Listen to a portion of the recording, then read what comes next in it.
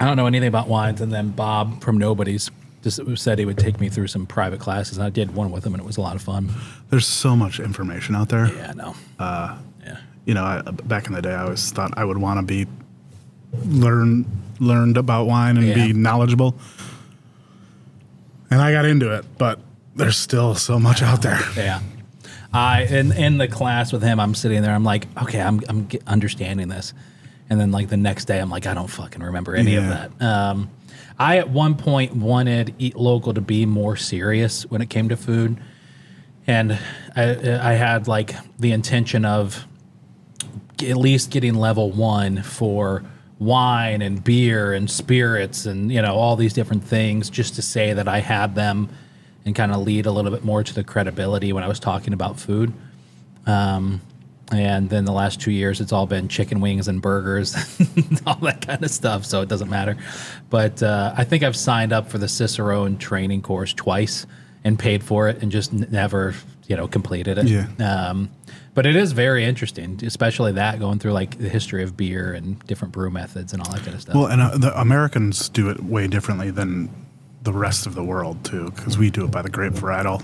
Yeah. So you can understand it a little more, but you get into any other country, they're blending different. You know, it's all the same grapes, but it's blended differently. You got to know all that region stuff. Yeah. It's, there's just a lot of knowledge to Yeah. to be had. Yeah, a ton of it. Yeah. Do you feel because so I mean, you're the work that you're doing is I feel like it's more elevated, right? So do you you feel that pressure to like have to stay on top of all that stuff? No, not not generally because I, I don't I don't know the customers are any more educated be, just because it's elevated. You know. Yeah. You know we can we can lean on other people with their knowledge. Yeah. Uh, to bring stuff in that you know people are going to be excited about. Yeah, for sure. Um, well, officially, cheers! Even though we already drank. Salud. Welcome. Thanks for coming. All right, so tell everybody, like you know, well, introduce yourself. Who are you and what do you do? I am Luke Houghton. I am a chef. I am a dishwasher. I'm an accountant. I am an all-around business owner. That's a great, great Uh, I, answer. I always say I started as a dishwasher and just kept adding, you know, things to the the repertoire. Yeah. Uh, I own a company uh, called Pure Catering Events. We are located physically in Auburn, uh, but we travel all over central New York, generally within an hour or two of our location. Most of our business is right there in Skaneateles in Auburn. Yeah. Um, Fayetteville, the Route 20 corridor, we kind of tend to hang out in, but we're not, you know, we're, we're pretty mobile, so we can go pretty much anywhere. That's cool. Uh, we do. I I explain the business like this to a lot of people. Is it's like four levels of customers. So we have our day to day operations, which is like your pharmaceutical reps will call lunches in, and uh, you know office lunches, business to business transactions. Uh, you know, mostly lunches. Um, then we have a social aspect, which is private chef dinners, smaller stuff, you know, cocktail parties. But generally, it's people at it's at someone's house. Um, uh, weddings is another area. Uh, most of those are in summer and fall. Uh, it's our Saturdays for the year, pretty much. Yeah. Uh, we do a lot in Skaneateles, but sometimes we travel a little bit for weddings because there's you know bigger dollar figures. Yeah. And then the fourth thing would be like corporate events, fundraisers, political stuff. Uh, so that's kind of, and then whatever else people call and want to pay us for. Yeah, that's, a, that's another good answer. Yeah.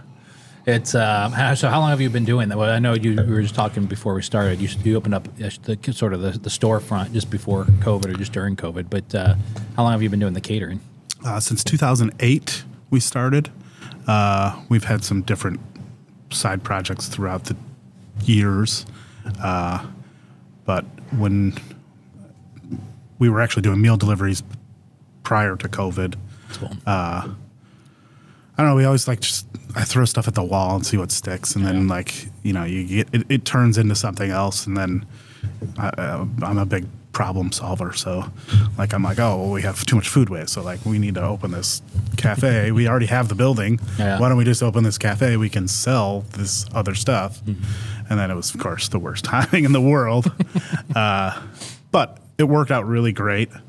uh, even though it was shaky in the beginning. We really took a step back, which I think a lot of people got a chance to do, and looked at like, oh wait, we're spending ninety percent of our time on ten percent of our revenue. Like that's just foolish. Yeah.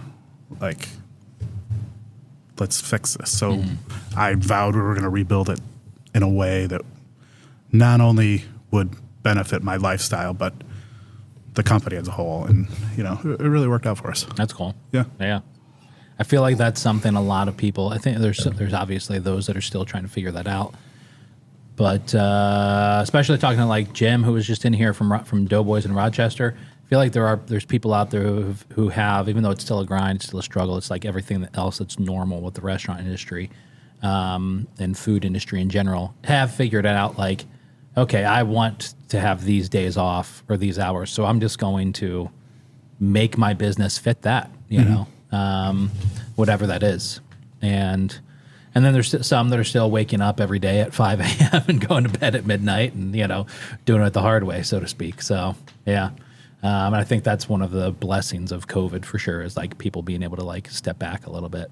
A lot of curses from COVID, but couple Yeah. good things in there. I- for me, it was probably the best thing that ever happened to me from my life mm-hmm. and business too. I mean, granted, it was shaky and Yeah. tough in the beginning. It was a very hard thing to go through, but we're done talking about it. So, like, Yeah. things are good, right? Yeah. yeah. We're out of it. yeah. Hopefully it's not coming back. No, I, I don't think the, the country wouldn't stand for it again. I No, not at all. No. Yeah. Uh, I don't know. They're talking about monkeypox or whatever the hell it is now. but I think that one you have to actually like brush up against the person Yeah. to catch it or whatever. yeah. Yeah. You have to be intimate with them. yeah, yeah. Um, yeah, that's pretty funny. All right. So, how did you get into the world of food? I mean, you know, started that back in 2008, but what were you doing? Yeah, so that? I my my beginning of my like culinary career really was starting as a dishwasher. I went to school for uh, business management at OCC, and uh, I would actually I worked in a bakery. Like at two, I would go into work at like two in the morning, and then get out and go to college all day. Just you know, crazy stuff that the kids would never do now. but uh, you know, that was really kind of how I started, and then I kept with it. I think originally my attraction was because like I was 20 and I like to go drink at night and sleep in till noon, and then uh, it turned out I was pretty good at it. So uh, I don't know, I just got lucky. Uh, then I I got my first like real chef job at the Mirbeau when they first opened in uh, 2000 uh, which was really attractive to me because like it was a real team, you know, oriented situation, and the food was really cool, like stuff that I'd never seen before. You know, I grew up in the Adirondacks in Auburn, New York. Like, yeah. We ordered pizza. Yeah, that's about it. But I, I was really into it, and uh, I just decided to kind of keep continuing with it. Uh, and so I was there for about five years Okay.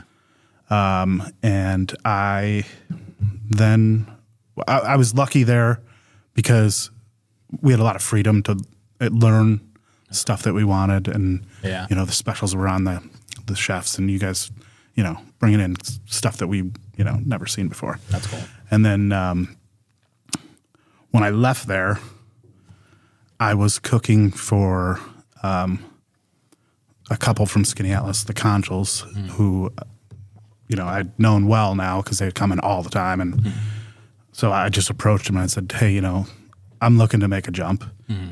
And they had, at the time, the lodge out in Savannah. So uh, my next move was to go out there. So I worked there for about five years, Wow. which was another place that really we had total freedom. You know, I mean, it was a lot of work, but you know, you had everything was you know top notch, and the budgets were pretty unlimited, so you could just go in and cool. you know make whatever you want for whoever that guest might be that day. But it also uh, taught me a lot about uh, business and maybe not even I, I might not have even known it at the time, but like you know if Bob Congel was like a really amazing person at finding people and grooming them, and I I didn't know it probably at the time because I was still young and but you know a lot of things he was giving you shit about. he was grooming you, you know. but uh, that was a great experience. Uh, and but I did see the business side of things all the time Yeah. in a way different light than being in the restaurant business because that's it's business first, and we're that you know the place was just set up just to Yeah. you know take care of cu- customers. You know, Was that the place? I'm, I don't know if I'm. If I, I might be misremembering this. Was that the place where the lodge where it was like a lot of it was for like them and like their friends and stuff. It was like yeah, sort of, and there, there would be like like one of the big things was like wild meats, like wild game. yeah. We served a lot of wild game, and we butchered all our own meats and stuff there. It was, was- like hunting preserve. Yes. Okay. I'm trying to think who It was I just in the paper the other day because they were they're selling it. Oh, really? Mm-hmm. I'm trying to think who the other chef was I was talking to that worked there. Um, Chris Uehara. Shit, this is gonna drive me crazy. Yeah. Anyways, I'm trying to think of even who is even still around. Stephen Pontillo, maybe. was Stephen at um, the Craftsman? No, I don't think so. Actually, he wasn't on the podcast, so maybe it, maybe it wasn't him. Nah, I forget. Uh, there's been a lot of yeah. chefs that have come out there and worked different events Yeah, and stuff. okay. And you know, we had kind of an open door policy there where you could. Uh,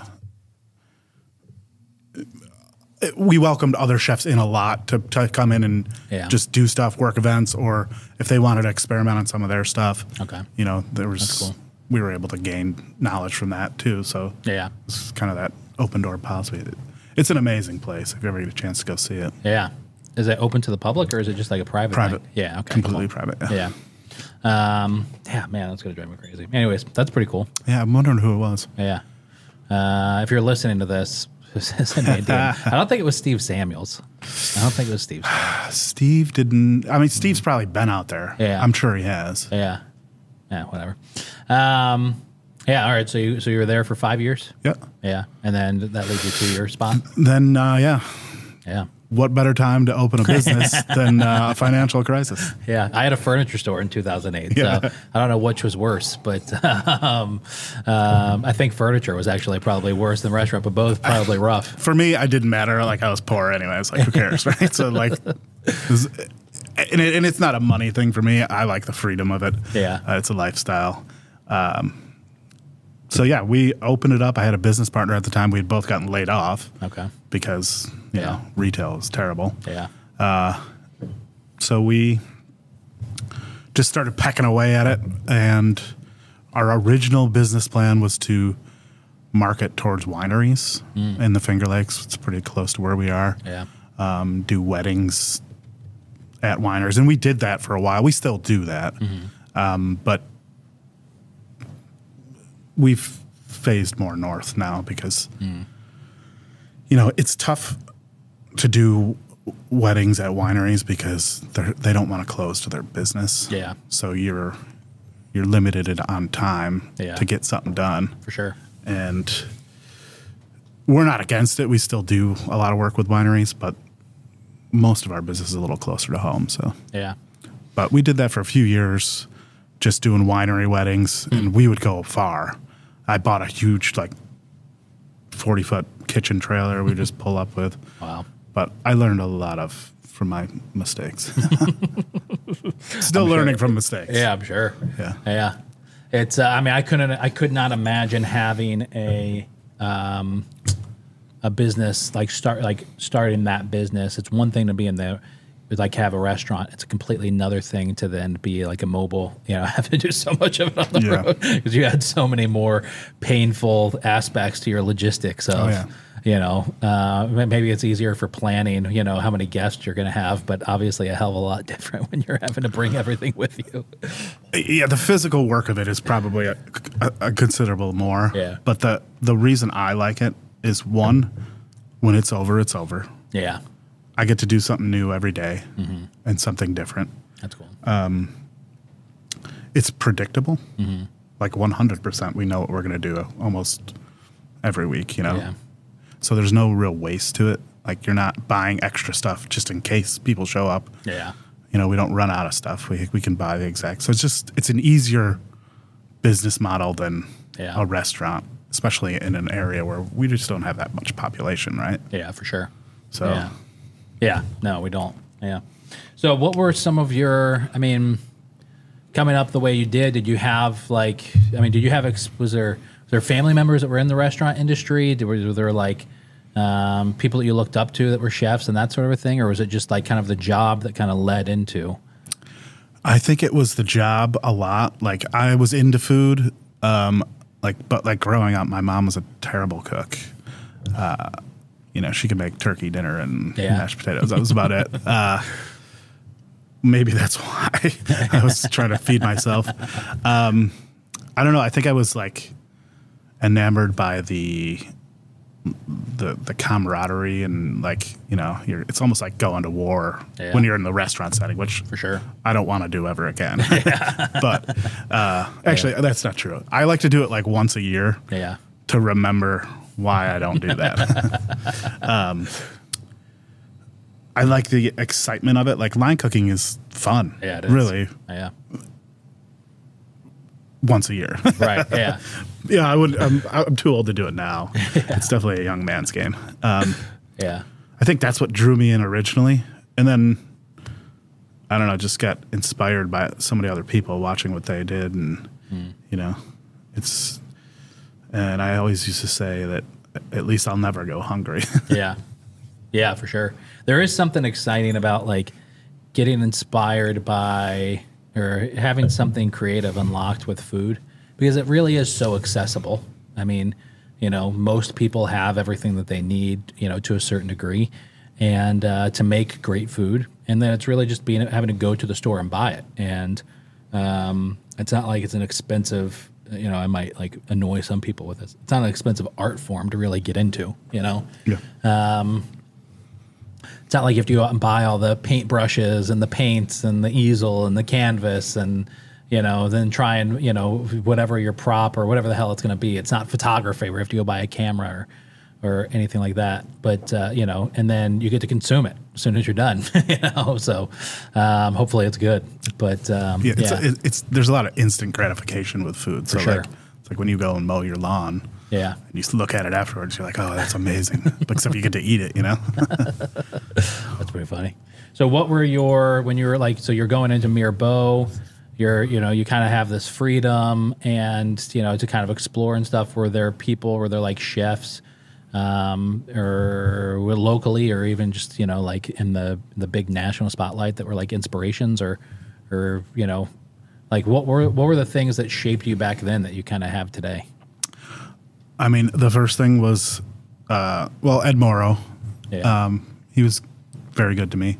Uh, Dan Iancello was a great chef. He worked with me at Savannah. Um, but the first thing that really inspired me was the French Laundry Cookbook, yeah. Which I think is a, true for a lot of chefs. For sure. Because it was the first one to come out. Um, and I kind of came up in that area where like the Food Network was like just coming out. Like it was Emeril and, Yeah. you know, so 98, 96. yeah Yeah. and uh, but the French Laundry Cookbook was definitely one of them. Um, and I had stacks of. I still have that cookbook too, but uh, I think it was like definitely like there was just so much to explore there. Yeah. And I travel a lot still to this day, so I was always like picking my vacations based on like where do I want to eat, right? So I would go to you know New York City to eat at this guy's restaurant or whatever Yeah. food vacations I call them. Yeah. yeah. Those are nice. yeah. Yeah, it's um, I try. I feel that way when I. I feel that way a lot actually. Just trying to map places out to go check out. Um, uh, but it's always nice going to like whenever I plan a trip down to New York City and really trying to jump into research. What's down there? Who's on my list of places I haven't been to that I really want to check out? Hoping that they're open the same days that I'm going to be down there at the same times, and then trying to figure out what's nearby. Um, my last trip to New York City, my last two trips to New York City, though, I screwed up and I was like, I was in, I've like, I had the list of six places to go check out and all places I'd been following, but they were, every single one of them was in a different polar opposite end of the city that I was not in. So I was, you know, from flying into JFK out to, out to the Bronx, to Queens, down to Park Slope, over to Times. I mean, I was just all over. Oh, that's city. It was exhausting. it was ridiculous. Where'd you go? Um, so we went to Utopia Bagels, um, which is The Rainbow Bagel. I think I don't know if they were were they the ones that started the. I think so. Okay, so Is that right across from uh, MSG? No. Um, Utopia, well, they just opened up a second location, so it might be. I don't know where the second one is. Um, Utopia is in the Bronx, and it's, um, uh, or no, is it? No, I'm sorry, it's in Queens, and uh, it's it's a it's kind of a weird. You almost feel like you're in like a New New Jersey like shopping center almost. Um, but you know, you go in there and they've got like the whole dried whitefish, you know, like tons of them in the display case. And um, I, th- I found them just through social media popularities. They've got like a, hundreds of thousands of followers. Um, and one their owners, the he's always whenever he's on camera, he's always like he's like a, there's only a good bagel that can do the knock test, you know. Um, but just went down there and got like bagels and lox. Oddly enough, cheaper than I've had it here in Syracuse, and, way, believe and it, obviously way better. Um, but uh, so we went there, and then it that was like early because we fly in. If I go to the city, I try to leave Syracuse by like whatever the earliest flight is. Sometimes it's like six thirty in the morning. So by the time I get into the city, it's seven thirty, eight o'clock. So, anyways, we were there, but then I wanted to go to GNR Deli in the Bronx. So then we're going over to GNR Deli, and that's like 45 minutes away. And I'm getting a chicken cutlet sandwich at 9 a.m. after I just had a bagel. And then we were down in Park Slope at Luigi's Pizza from there. We were over in Times Square. I forget why we were in Times Square. Then we were down in Little Italy at the cannoli. I mean, it was just all over the fucking place. You know, it was crazy. I tried to the last time I went down there. I was like, all right, I'm going to wherever, you know, I'm going to Greenbush and I'm not leaving Greenbush. And then like I get there, I'm like, where, where the fuck am I going to eat? Like, you know, there's like, I've got three places I want to go to and I've been there in the last hour and a half and I have to kill another 12 hours. um, so I still wound up going all over the place. Yeah. I was up in Greenpoint and, uh, and I got somebody was like, "You need to go check out this restaurant down in Bayside," and, and then I'm like all the way down at the end of you know the opposite end of Brooklyn. Uh, it's expensive. It's stupid expensive, Oh, yeah. and a lot of time traveling to and from places. But but there's nothing like going to New York City to spend a day eating. I'm going to La Bernardin next week. Oh, really? Yeah. Oh, that's cool. I had to like wait to get a reservation. Like you have to like wait on the uh, the whatever the 28th day before the, Oh, they okay. open up for the month or whatever. Oh, really? yeah. That's interesting. So I was lucky to get a reservation there. That's pretty cool. Um, what do you fly down or you drive down? Uh, usually I'll just drive. It's about Yeah. the same amount of time, honestly. Yeah, it is. Yeah. Yeah, I just drove the last visit I went down. I was just I was down for the fancy food show and I drove that time. That was the first time I drove and drove into the city. And it's not bad. Oh, it's not terrible. It wasn't bad at all. They don't really like cars down there anymore, but you know, Yeah. as long as you can drive aggressively, it's fine. Yeah, for sure. Yeah. I didn't realize that they had traffic lights in every fucking corner though Oh, for yeah. red lights and I got like 3 tickets, so that wasn't fun. Oh, really? Oh, because you ran, ran the lights. Yeah. Yeah. My brother who lives down there is in the passenger. He's like, he's like, that's a ticket. I was like, what are you talking about? It's like, there's cameras at every intersection in Oh, the yeah. city. Yeah, yeah, it's not fun. Um, all right, so I mean, you know, what's it like been? What's it been like over the last like year or two? I feel like I hear the more and more I hear catering companies are getting out of the business in, in central New York. Have you noted like have you has it been like crazy dealing with like their pickup in business or have you noticed? So we have been. Uh, let's see. So let's let me think. So last. So this year we're probably about even with last year. Uh, last year we added about twenty percent. Wow. I would say we're slowly growing a little bit more. Yeah. Um, we can only do so much more business. I Yeah. mean, because you know we do most of our business between between June and January. Yeah. There's only so many Saturdays. Right. There's only so many. You know, like, For sure. yeah, we don't we don't want to take it to the point where we're suffering with quality, Right. Because we take on too much, Yeah. and you know, we only have a certain number of people, mm-hmm. so we can add to it a little bit, Yeah. but you know, I think that you know we we see the growth in stuff that leaves the building without people mm-hmm. more than anything Yeah. because you know in the summertime we're doing 13 15 events a week Wow. so to do more Yeah. I don't, you know, like I know Dan's going, taking and turning the bakery into the, or the catering kitchen into a bakery or whatever. Yeah. Which I don't blame him. I think that's good for him. Yeah. You know, because it is hard Yeah. to do both. Um, Whereas we concentrate on just that event, and it seems to work out good for us. That's cool. There's way more work out there than there is people to do it. Hmm. That's interesting. I mean, if you look around, especially by us, Yeah. and even here, I mean, there's just a lot of venues out there that people think, oh, I have a barn, like. let me just rent it to people, and people will pay for it. So, like, that's what people want. Yeah. and then you know they don't tell them they offer no services with it Yeah. other than here's the space Yeah, for sure. and then you know Yeah. they call us and you know we can only do so many Yeah. I remember when my wife and I were getting married, um, which we've been coming up on six years. Um, we looked at Kester Homestead and gorgeous space. Like we fell in love with it. Um, but there was like nothing. You had to bring everything in. Yeah. And that was a challenge. We wound up going with Emerson Park Yeah. Pavilion. I don't know who the sh- who, who was doing the food there at the time. Um, that was like six years ago. six years ago i think it's the ago. same people ish Okay. uh, was it joe or I don't know who it was because I thought that they had their own, but now I know that they don't. That they they contracted it out. yeah so they have uh, it's contracted out to right now it's a&m catering but uh, which used to be part of joe's out of ithaca Okay, gotcha. They put it on an RFP like every couple of years, just but Yeah. they've been doing a pretty good job, I think. yeah, yeah, yeah, yeah. We did family style. The food was good. Yeah. You know, for a wedding. Um, we uh, my first ever ki- my first ever kitchen job besides working for in my dad my parents' diner when I was like nine was a third shift cook at Denny's on West Genesee Street when I was 18. I just graduated high school. I needed money over the summer to move away. And so that summer I went and cooked third shift at Denny's and that was an experience. I bet all the drunk people, right? Oh my god, that was. I, I applied for a waiter position, and in the interview, the manager was like, "I feel like you'd be a better cook," and I was like, "Okay, sure. You know, what's the what's the shift?" And they were like, "It's third shift." And for some reason, at 18, I was like, "Okay, I'll do that." Um, and that was I I loved it. You know, I only it was just for those four months, but it was still fun.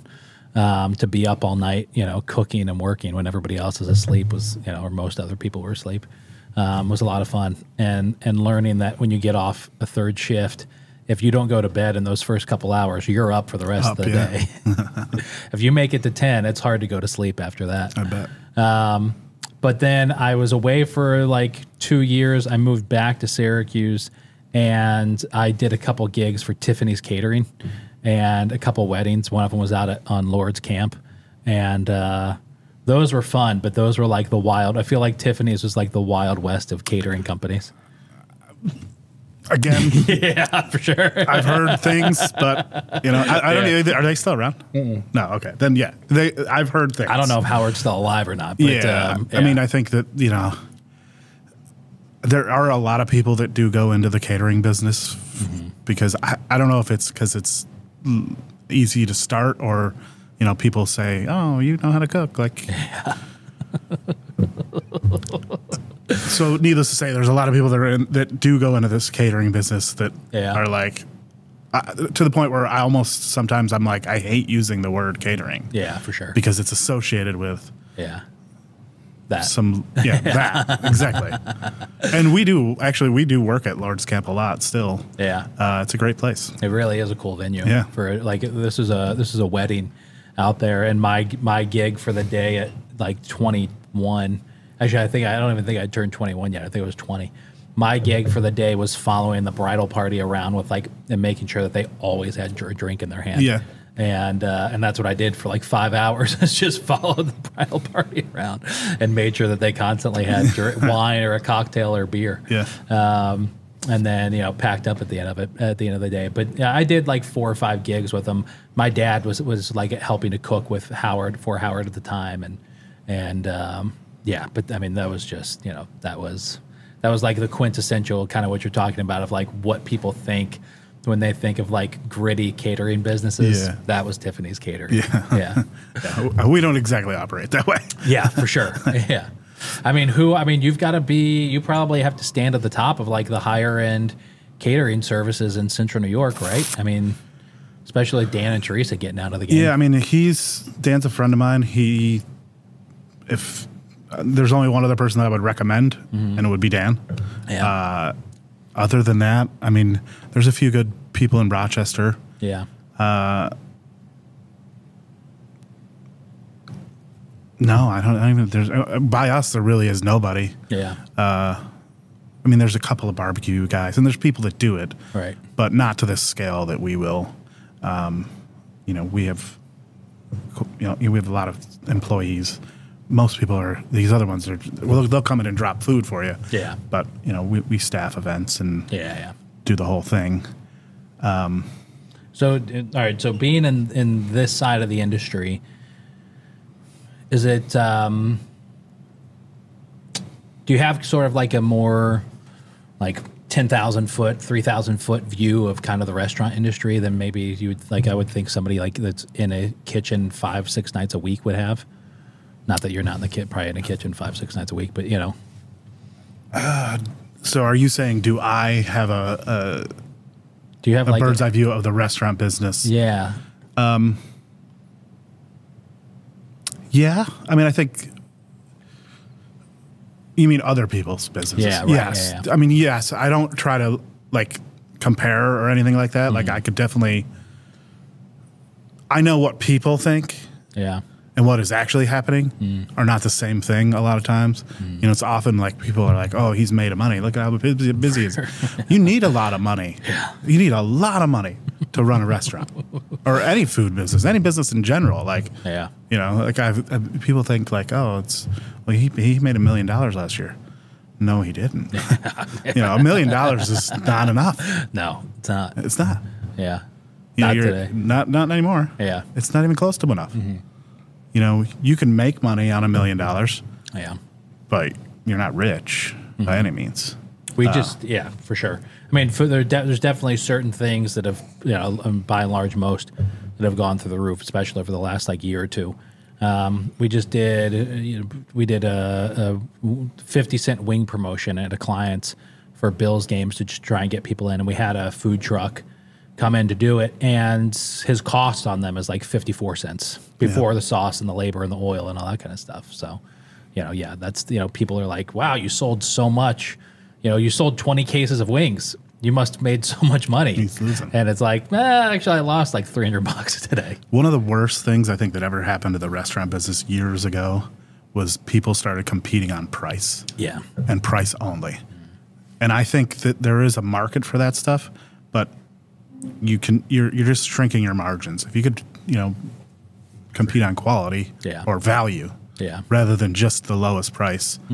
Uh, you know, because now even McDonald's is the same price as probably the mom and pop place, and there's people are still going to McDonald's. Yeah, for sure. Yeah. So Yeah, without a doubt, the place, the the the uh, fast food places are as expensive, if not more, than most of these places in town. Um, and yeah, it gets it's getting crazy. I do. I'm a, I'm a worried though that like if you know that we're just gonna we're already back. I don't know if we were completely out of like the race to the bottom in terms of price over the past couple years, but definitely imme- like first coming out of COVID, it felt like people weren't as concerned about it, you know, about like spending money on going out to eat. Now, obviously, it's wicked expensive, so people are, and I feel like that might continue, or like there's still a continued race to the bottom. Yeah. You know, it is tough running marketing for restaurants when I know somebody else in town is advertising a 75 cent wing night, and then a client's like, "Hey, we're gonna do a dollar wing nights," and it's like, "Fuck, that's we're not gonna." I, how, how do you want me to really market that? Yeah, yeah. I, I, I honestly, I think I, I really don't understand how a lot of these places are even doing it because, like, and I understand the position they're in because we, you know, the cost of labor goes up, the cost of food goes up. We can just charge more, Right. and most of our clients get it, and they're they're going to pay Yeah. because if they don't, someone else will. It's not like we have to worry about that as much as Yeah. like, you know, you got to f- get the people coming in the door. Mm-hmm. How do you do that Yeah. without, you know, squeezing them out too much because you know you you're you're trying to feed not just the low end of the market but the high end. The high end doesn't care, but the low end does. So you might lose them and keep them, but there's less of them. Yeah, for sure. So it's got to be difficult. Oh yeah, yeah, yeah.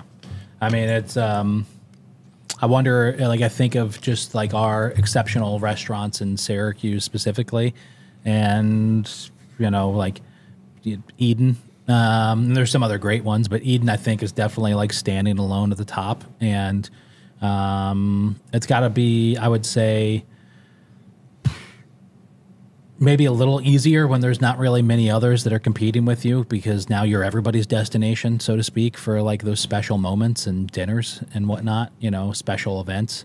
My wife and I going out for my birthday, you know, all that kind of stuff, anniversaries, big celebrations. It's got to be a little easier in that regard, even though it's a more expensive dinner than you're going to go, you know, down the street, right? But uh, even though it's not crazy expensive uh, at all, but uh, yeah, I mean, my we used to go to St. Urban was like our our like special occasion, and Yeah. that was a thousand bucks a pop, you know, for the two of us for dinner and a wine pairing. Um, so those days are long gone. Yeah, I wish I wish he was still around. That was a great place. I know. Yeah. I loved it. Yeah. Have you ever lived anywhere else besides here in Central New York? So I'm fr- originally from the Adirondacks. Um, I, I right now I actually live in Idaho in the winter. uh, believe it or not. Oh, really? Yeah. So I we're, we're not super busy in the winter, so I usually take a couple months and uh, Yeah. go out west and uh, That's cool. stay there for a couple months. And you know I'll come back if we need to come back for events and stuff. But Yeah. you know that's definitely something I never could have done. You know a Yeah. few years ago with everything running and you know it's just constant grinding stuff. Yeah. But What is Idaho like? Uh, it is amazing, but don't tell anybody. uh, so where we stay is like, I'm actually going there tomorrow, but uh, right in the corner of Idaho, Montana, and Wyoming. So like 16 miles from Yellowstone, basically, Okay. and it's mountainous. Okay. The house six we stay in is at 6,500 feet Wow. with like you know 10,000 foot peaks all around. It's so awesome. Uh, a lot of snow, Yeah. a lot of wildlife, uh, but pretty quiet. That's cool. So, yeah, Yeah. I love it. Are you a hunter? I'm not a hunter. Okay. I I snowmobile in the winter, do some skiing and snowboarding, and That's cool. just uh, you know Yeah. overall. Yeah. We don't have much for winters here anymore. So, I know. It's crazy. and I started going there like years ago. Uh, we went on a one trip, and I was like, "Wow, this place is cool." We actually went to West Yellowstone, Montana, Okay. and then uh, rode snowmobiles over there. And I was like, wow, this is pretty cool. Yeah. And then, uh, like everybody else during COVID, they're like, oh man, I'm just going to go work from home, right? I'm watching these people while I'm like just slaving away. Yeah. All these people are at home. I'm working twice as hard, but, uh, but I decided that uh, I'm to figure out how to do it. That's so cool. we did. Yeah, that's really cool. Um, yeah, I remember you guys were doing the you guys were doing the dinners, right? Yeah. The Zoom dinners, yeah. Um, and those I feel like were really popular. So the first thing that uh, when we sobered up after finding out what was going to happen, Yeah. I uh, first called a couple of clients. It was like, like what do I do? Like Yeah. I'm over leveraged. You know, we're he just renovated this building that I can't use, and you know, it's not like I have investors. We we spent all our own money to build it, and now. Uh, there's nothing coming in. Yeah. And w- we're probably hit even worse because, you know, all everything canceled. Mm-hmm. It's like bing, bing, bing. I'm like, oh, you know. So not on top of it, now I got people threatening to sue me for their deposits and everything else. Jesus. else. And I'm like, you know.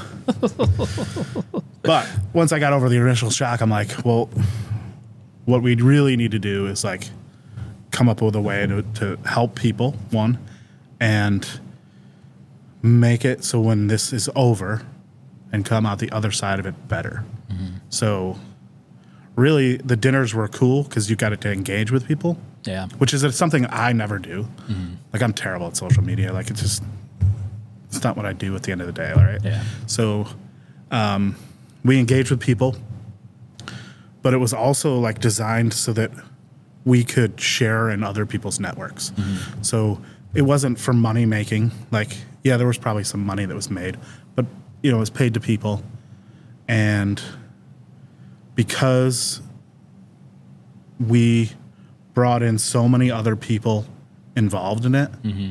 it was a way for us to share in their network. And they can share in our network and all throughout, Yeah. which really, in the long run, worked out, I, I would assume, for everybody very well, mm-hmm. But especially us Yeah. because we hosted most of them. Yeah, for sure. But I also met a lot of people that never would have met before. Yeah, that's awesome. I loved. I mean, I, I missed those times. That's one of the things I loved about the dinner at Eden from you know last week or whatever it was. That uh, you know, it did feel it was like uh, I, I. There used to be a lot more of that kind of stuff in Central New York. You know, people doing different dinners. Obviously, there was like the stuff before COVID. Mark with Farm to Fork 101. Chance back in the day had like you know his chop challenges that he used to do Yeah. out at the restaurant. There was like the Chobani cook off out at the park, but I forget who put that on. That was Wegmans, right? Was it Wegmans? Cook off. Or Food Bank, maybe? They were definitely a sponsor. I forget who. I thought it was for some reason. I thought it was Chance or Mark, but maybe it wasn't. Maybe they were just involved. But there was only a couple of them, I think. Yeah. But um, yeah, I just I loved. I missed that those kind of events, like the things that really focused on like elevated food. You know, more chef driven stuff. Um, I think because they were donated, they were- those were mostly charity events. yes, that's right. Yeah. People are scared to ask. Yeah, for sure. like after the last couple of years, like nobody wants to be like, hey, you know, I'm, it's coming back. Don't worry. yeah. But like, Yeah. I, that's why I was excited to see it. I saw it. I'm like, oh, like I'm going for Kaylee's desserts. Yeah, for sure. Oh my god. Yeah, yeah, those were incredible. yeah. But the- yeah, but it was nice to see somebody doing something again. And Yeah. like it was, like I immediately was like, oh, we should support this if we can, you know? Yeah. I'm going to try. I think Rich is open to it for sure to do them something. I don't know if it'll be on the same scale or not, but definitely something just every couple months, you know, whether it's there or somewhere else. Um, I've wanted to start uh, uh, like a fine food festival, so to speak, here in, in Syracuse to represent like Central New York for the past couple years. It's just, it's such a massive risk to try and put on, even like a small festival. Because you either have to make it in- intentionally incredibly tiny for the first year or two to not try and take on some massive financial risk with it. Um, but then also just trying to, like a lot of those restaurants that you would, that I would like think would be great fits for it aren't used to bringing their operation outside of the restaurant and then serving people on a I don't really know what's going to show up sort of a basis, you know, or dealing with weather or any of that kind of stuff. So, um, trying to figure that out. But I think Rich wants to kind of lead to that a little bit with these with these dinners, is lead to sort of like a food and wine festival, which I would think would gr- be great. I don't know if there ever was anything like that in Syracuse. Not that I can remember. We're definitely turning into a festival town. There's so many different food festivals now throughout the summer. You know, like the the re, like the the international, so to speak, ones like Italian Fest, Irish Fest, all that kind of stuff. That's always been going on. But now there's the Wing Fest at the Inner Harbor and Pizza Pasta Festival and Taco Festival and you know yada yada yada. So. I'd, but uh, and those are great, but they are just a lot of the same people, just kind of doing the same thing. Yeah.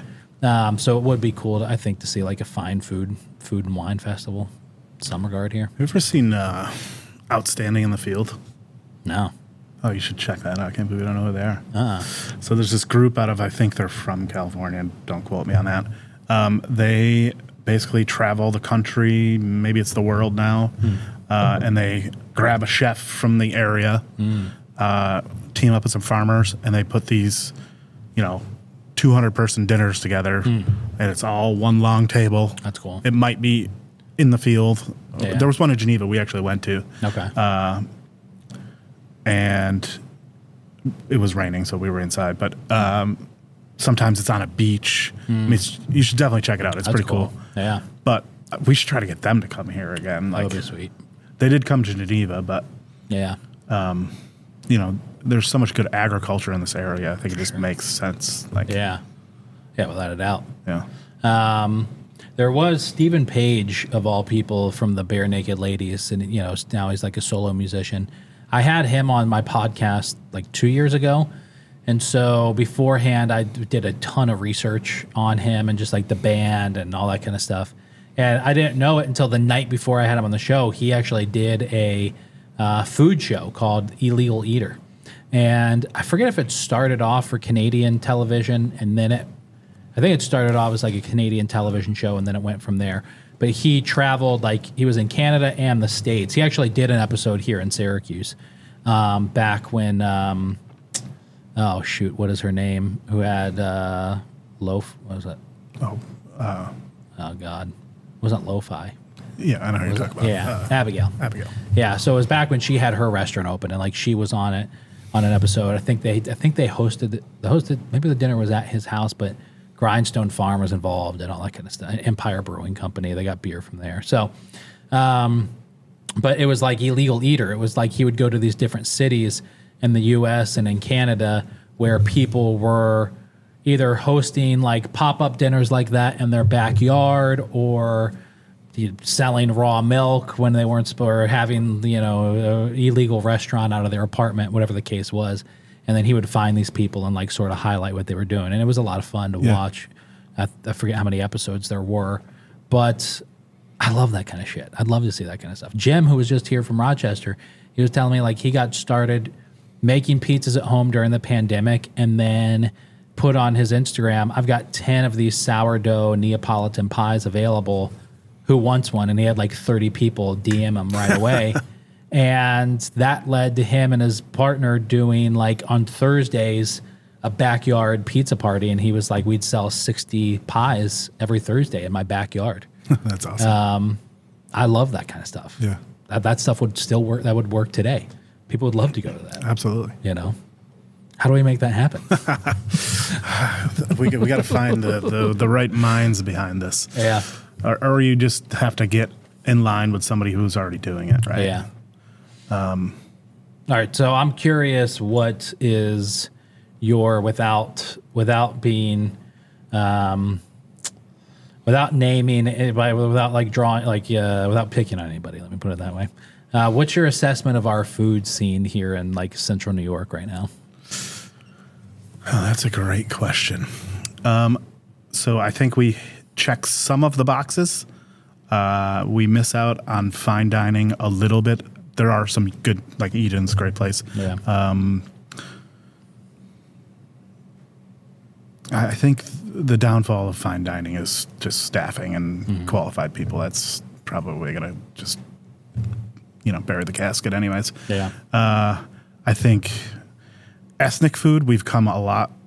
Like, I love, I have an obsession with Asian noodles. So, mm-hmm. like, there's yeah. places all over this city that you can sure. get great um, noodle soups and stuff, Yeah. which is probably what I crave the most. Um, I think the Salt City Market is awesome. Uh, and actually, I, everything about it I like, especially for lunch. Like if you're going to pop in there and get lunch. So there's people doing some cool stuff. You just got to seek it out, I guess. I also probably don't eat out as much as most people would think. Oh, really? Okay. yeah, I mean, if I'm here, I'm working Yeah, yeah. most of the time. So, Yeah. you know, Okay. it's hard to go out and eat when For sure. you know we th- we just always have so much food around. Yeah. I I mean I view you as like just somebody who I've followed through social media over the past couple years. Um, and again, not that like you're on there posting, you know, your daily life and that kind of stuff, but uh, um, I view you as like definitely one of the doers, but also like one of the connoisseurs, you know. Um, and maybe that's just my inaccurate uh, image of you as a as a you know the person at the helm of the catering company, but. Um, you know, like I've I, I I've I've been like, oh, he, he must be one of the lucky ones. You know, yeah, I, I, wouldn't say that I'm a connoisseur by any means. I like Yeah. I like everything. Uh-huh. Um, you know, St. Urban was the best. Yes. Um, it wasn't my favorite, but it was the best. Yeah, I'm trying to think of who's doing like fine dining anymore. And in our area, no one. No one, right? I mean, Eden is the closest that you're going to get. And as much as I love everything that Eden's doing, they're not fine dining. You know who's the best? It's uh, Tailor and the Cook. That's true. Yeah. I mean, he's got he's remarkable. yeah. Um, I would say he was probably in this, if you count Utica, Yeah, for sure. he's very good. Yeah, yeah, he's he is very good. I, I I haven't been to the new place, um, and but yeah, Tim's doing great work out there, um, and he's part of. I, th- I forget. I don't know the all the details. I think he's part of a restaurant group out there now. Utica, and if if if I don't know, maybe not. If you if you count all of the variety of like ethnic cuisines that Syracuse has into the mix, I guess I, I wouldn't put Utica above Syracuse. But if I just if I just immediately within like 30 seconds think of the like the hit places in between Syracuse and Utica, I would put Utica above Syracuse in terms of the 100%. food scene. 'Cause you do have you do have nice restaurants like Tailor and the Cook, um, Ocean Blue. It's not like fine dining, but it is a, a more beautiful restaurant than anything that exists in the city of Syracuse. Um, on the rooftop, and you can go back and forth on their food. Some days it's great, some days it's not. Um, uh, but then you've got roosters out there, perfect smash burger. You know, you know, just kind of walk in. They take cards now, but it still feels like a cash only place. You got O'Scugnizzo's, the second oldest pizzeria in the country. Um, you got Slice Pizza Shop out there making some of the better pizzas I've ever had before. Um, you've got is it Modus that's out there, another like elevated place. Um, yeah, I mean, you know, I, you would you would call Utica a food town. Like, yes, for sure. you would not call Syracuse a food town necessarily. No, I don't think I would. Um, if somebody just asked me like real quick, like, "Hey, name the name the top five towns or cities in New York State to go for like a great food scene," Syracuse would not be on that list. No. no. What would it be? New York City obviously is number one. I mean, yours uh, for obvious reasons because you cover every single basis, every single cuisine, from the nicest restaurants in the world to the shittiest restaurants producing incredible food in the, in Yeah. the world.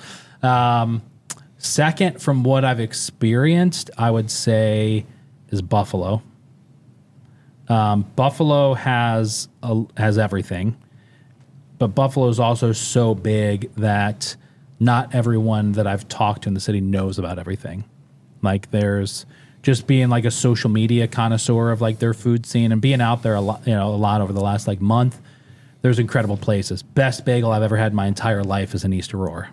You know, at this place, at this Blue Eyed Baker, um, incredible bakery. Um, and uh, and then you know expensive but like shitty hot dogs at Ted's, you know, uh, you know all that kind of stuff. So um, so Buffalo would say is second just for size and variety, and they also have fine dining and they have the shitty you know shitty shitty places. Yeah. Third, I would probably say is Rochester, and it's really close to Buffalo.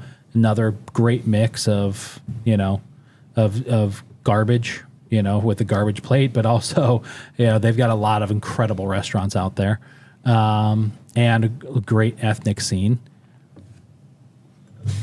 Fourth, I might say it's like Utica. I'm like the only other rival to Utica that I can think of would be some of the Hudson Valley towns, like Rhinebeck. Um, Corning does have a really great food scene. Um, not all of it's great there, but they've got a. It's Corning's got st- a stupid amount of restaurants for a place like Yeah. Corning. Um, you know, Rhinebeck's got a lot of diversity in such a small area you know, just like the Hudson Valley. If you were to include the Hudson Valley as a whole, including all of those small little towns, Hudson Valley is probably third on the list. Absolutely. You know, um, because they have such a wide mix. You know, so if you could include the whole Hudson Valley, sure. If you're including little towns in there, maybe not. But uh, yeah, Syracuse is, uh, you know, for me, it's like you know, six or seven on the list. Yeah. which makes me incredibly sad that it's so far down. You know, um, yeah. I mean, have you spent a lot of time traveling around New York for food at all? Uh, yeah. I mean, I've been to uh, well, New York City more than anything, but Yeah. uh, Hudson Valley. I've been to Blue Hill. Okay, yeah, Um, Most of my like idols are in New York City. You know. yeah. Actually, I went to. Uh, do you remember when the Krebs first opened? Austin. yeah. He opened a place in uh, maybe it's Greenwich, maybe not, but Okay. Oh wow. really cool place. Huh. One of the better meals I've had in a long time, actually. He, Wow. I just stopped in to see him when we sat at the little chef's table. It's like three floors. Oh wow. But, and, and everything was just amazing. huh. That was a great meal. Um, I went to Alinea last year. Oh really? Yeah, What was that like? it was wild. Yeah. Uh, it kind of, I was, it was long, mostly because I had driven like 12 hours to get there. Okay. And uh, we were just, happened to be going through Chicago. So I was like, well, we got to go. Yeah. So it was like 15 courses, and you get up from the table, go in the kitchen, do a course, and it was pretty cool. The dessert, have you ever seen this? Yeah. That's crazy. Yeah. Yeah. The sugar balloon. No, that we had that too. Oh wait, the big one. Yeah, they come out and just Yeah. like start throwing stuff Yeah, on yeah. your table. Yeah. That was pretty cool. It's, you know, if you can think of it as like an experience Mm-hmm. and not necessarily uh, eating like you're eating dinner, Yeah. You can justify the price. Yeah. I don't know. I mean, I don't. I say that like I know what the price is. I don't know what the price is. It was like fifteen hundred for two people, one Okay. one person with a wine pairing. So not, I mean, Yeah. a lot, but Yeah. you're there for three hours too. It's a lot of money, but it honestly doesn't sound as much as I thought it was going to be, as I would have expected it to be. yeah, it wasn't terrible. Yeah.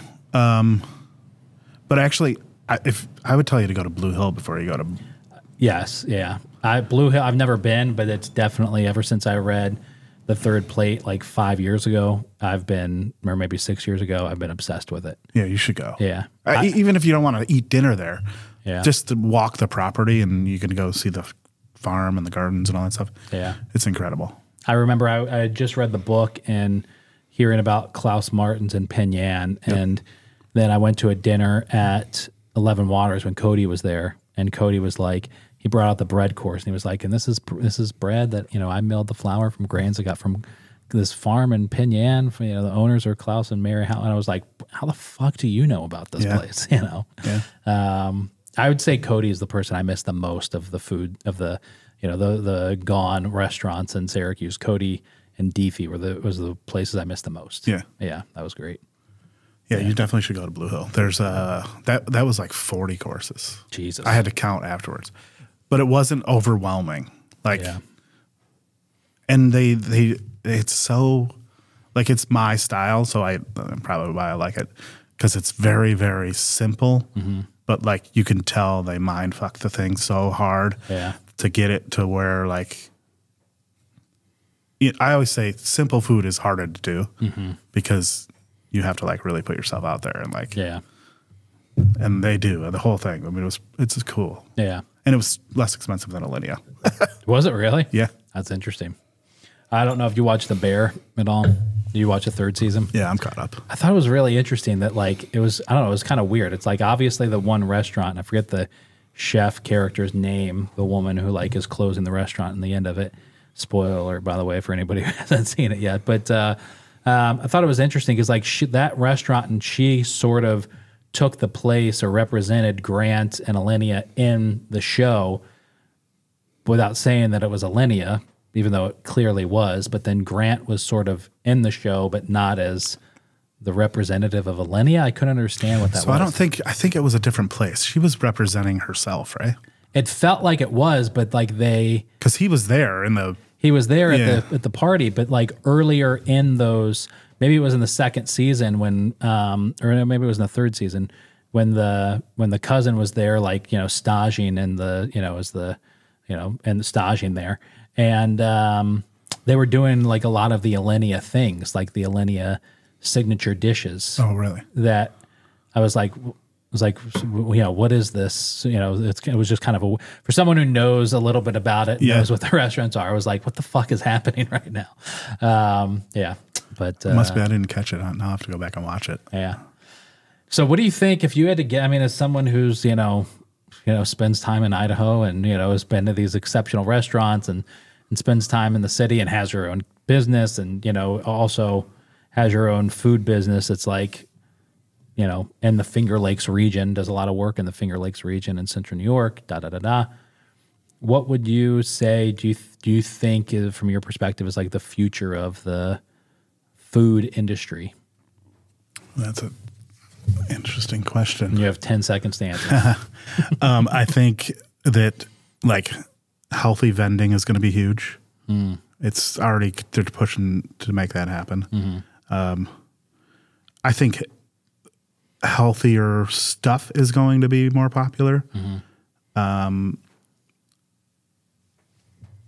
I think the population is going to probably changed significantly here, and already has. You know, if you look around in the last ten years, it's probably changed quite a bit. For the better, you mean like growing or, de- or declining? I think it's probably stayed about the same, but a lot of kids that have left mm-hmm. are coming back. Yeah. And they've traveled to other places and they want those amenities that they had in the big city or whatever. Yeah. And I think that will drive some of it. But also with the Micron, I mean, that's unbelievable Yeah. what's going to happen there. Yeah. And we don't have enough people to fill those jobs. So they're going to have to bring people in to support it. For sure. Um, I don't know what their plan is for bringing those people in, but Yeah. I assume it'll be, you know, immigrants from other countries mostly. Yeah. But we don't know. There's nothing wrong with that. We've got 100%. No, I mean, I think it's great. yeah. Baghdad exists because of the war in Iraq, unfortunately, unfortunately. Yeah. Because we have this incredible food here in Syracuse. Yeah, no, I think it's great. Yeah. Um, that's interesting. Yeah. Okay. And, and you- so you, you- we have to support that group, Yeah. group of people coming here, For sure. or they're going to support each other, however that works. Yeah. So I think that will add to the, you know, demographics that we have now. Um, there's already significance, especially by us, more wealth here now. Yeah. And, you know, it used to be concentrated to Skaneateles, and it's not anymore. Mm-hmm. You know, we have a lot of For sure. any of the lakes. You know, you and I can't afford to live on them. Yeah. Right. so yeah. they're attracting more and more people because Skaneateles is full. Yeah. So where can I buy a house and tear it down? Well, we'll go to Owasco Lake or Canandaigua Lake. you know? Yeah. So, I mean that that's the way I see our area. Um, It's been kind of a secret for a long time, and Yeah. when people couldn't travel, they're like, "Wow, why am I driving to the Hamptons? this place is way better and cheaper." You know? Yeah, for sure. Yeah, it's a, it is funny to me. Like I've just being somebody who, in you know in my position, I've always like thought everybody knew about the Finger Lakes. You know, specifically like just the wine region. You know, uh, Seneca and Keuka and all those places. And then as I started talking a little bit more about just kind of thinking through like, okay, I've never tapped into those areas, and there's all of this incredible wine and beer and food that exists out there and people were like, "Oh, I'm so glad fi- someone's finally talking about." It. I'm like, hasn't everyone been talking? Like, I'm pretty sure like nationally people have been talking about this. Like, not as much as they should be, you know, um, which is just very interesting to me because it's like it's you know, it's like a pretty pure. I mean, you know, I don't know if you. I think they. I'm sure they do make plenty of money, but. uh it's not like you're going to like a downtown area and thinking like, okay, I'm going to make a million dollars this year because there's so many people that come through the area, you know, when you're going out there. But there's incredible food and wine out there, Yeah. you know. We used to spend a lot of time out there buying.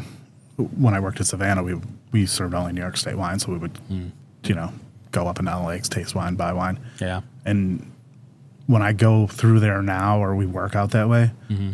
there's infinitely more people than there ever was. Hmm.